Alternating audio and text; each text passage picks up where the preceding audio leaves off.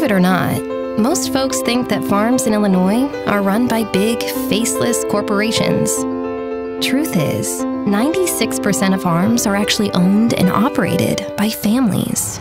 Yep, 96%. And we're 100% committed to bringing you the most sustainably grown, healthiest food anywhere. Illinois Family Farmers. We are the 96%.